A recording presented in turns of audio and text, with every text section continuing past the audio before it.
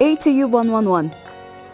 This course will help you adjust to university life, inform you on the social and cultural opportunities at your university, and introduce you the academic and administrative units to see you through your university life.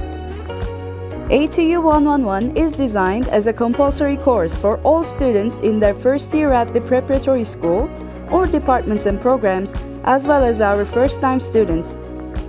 This course starts with the event titled President's Speech and Life at Atılım and continues with various events throughout the fall semester.